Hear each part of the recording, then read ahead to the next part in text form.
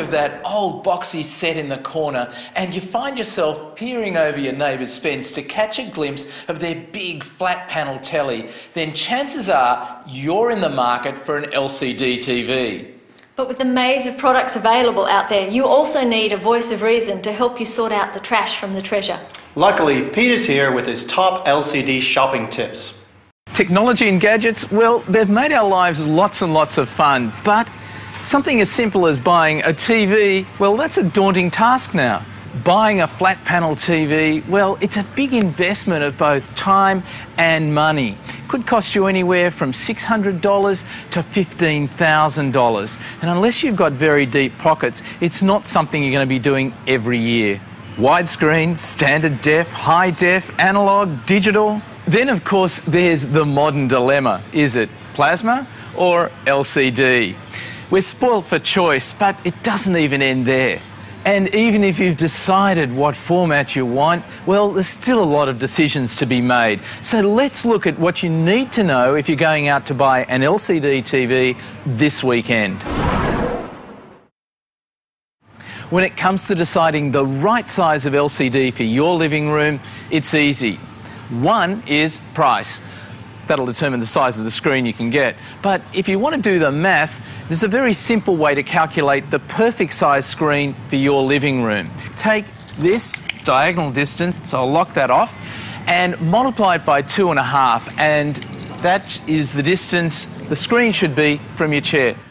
Once you've decided which screen size you're after, your next option is resolution, which is measured in pixels, the smallest dot of information your new TV can deliver.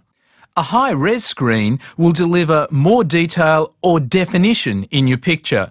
Standard resolution is 720 pixels across by 576 pixels tall. High definition starts at 1280 by 720 pixels, but can go as high as 1920 by 1080 pixels. One of the best features about LCDs is that the price has dropped recently, so you're getting a lot of bang for your buck when it comes to even the larger screens. Used to be that LCD was a lot more expensive than plasma in this screen size, but that's not the case anymore. Now here's a Gadget Guy tip. Most LCDs will come with a tuner built in, but check to see whether it's analog or high definition. You'll save quite a bit of money not having to get a set-top box with your LCD. But if you really want to future-proof yourself, then make sure it's a high definition tuner it's really important to future-proof yourself when you come to buy an LCD panel. So getting a high resolution panel is important. And I'll give you one reason why.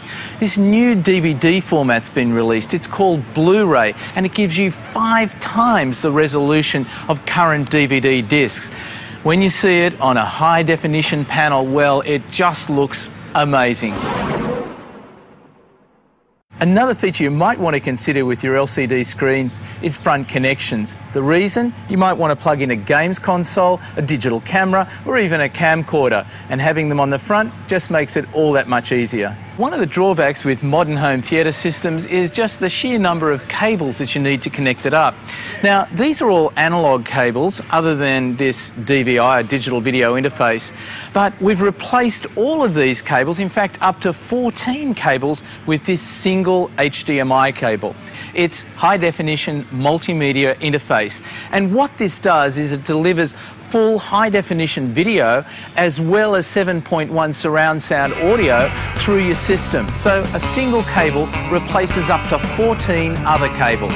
It's a great solution and saves that tangle of spaghetti behind your TV.